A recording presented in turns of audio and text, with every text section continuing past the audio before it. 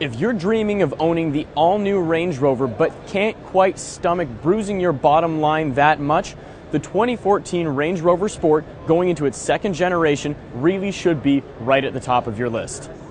Last year, Land Rover stunned us by saying that the new Range Rover would lose 700 pounds thanks to its aluminum architecture and components.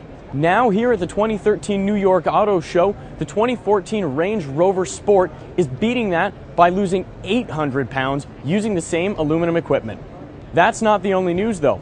For the first time, Land Rover is offering this car at the starting level with a 3 liter supercharged 6 cylinder, good for 340 horsepower, which, by the way, starts at $63,495, including delivery.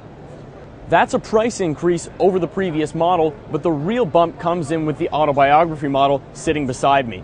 That car costs 93,295, again including delivery, which is about a $5,500 price increase over last year's car. Then again, this isn't last year's car. It's significantly better, and those aluminum underpinnings are going to help it handle significantly better than that other car did. Based on the way that the Range Rover handles, well-heeled drivers are in for a serious treat.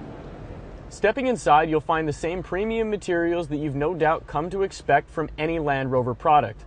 This car comes with redesigned seats, two rows standard, although for the first time, Land Rover is offering a third row of seats. Don't count on using them very much though, unless you're planning on driving to Middle Earth to pick up the Hobbits, because Jaguar even admits they're not very big. 19 inch wheels come standard, although you can always upgrade to the 22 inch units, which are much more imposing, handsome, and look better on the car. Speaking of looks, this car gets the same swept back styling you've already seen on the Range Rover, inspired by the Evoque. Of course, if you want the full experience, you're going to have to go with the 510 horsepower 5 liter supercharged V8, which of course puts power to a permanent all wheel drive system, cementing this car's off road resume.